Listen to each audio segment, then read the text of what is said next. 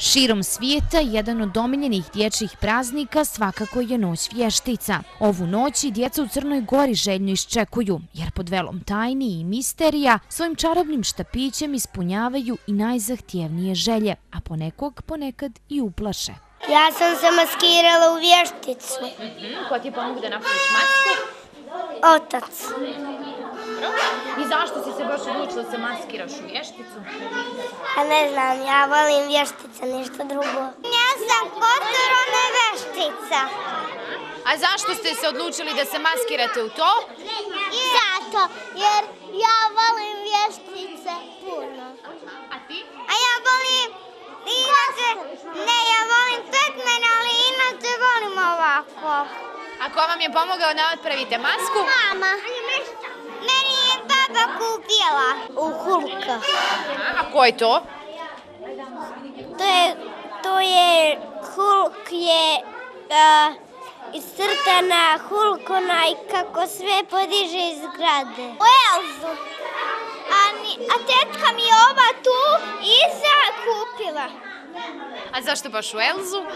Zato što volim Elzu. Gusar. Dobro. A zašto baš gusar?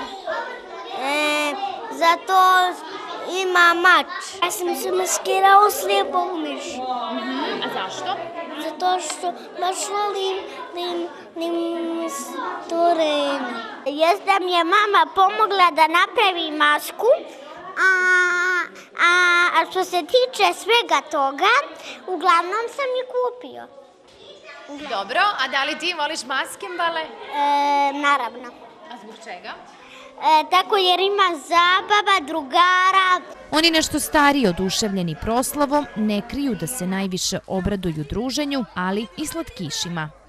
Pa zabavni si imamo da se maskiramo, da plešemo. Ja volim maskembale, ali je problem to što ne idem baš često.